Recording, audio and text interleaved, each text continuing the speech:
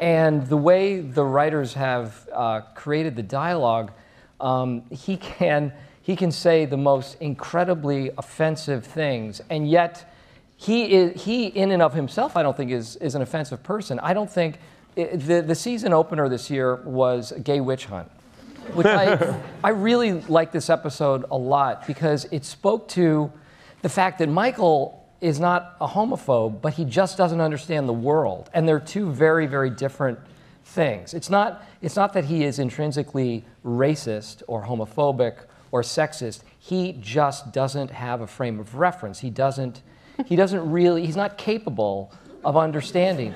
And, and once he does glean some understanding, he misinterprets it, and it becomes something else altogether. But I think Uh, at least the, the way I feel about the character is that he has a, a decent heart, he's a decent person, and he's just trying his best.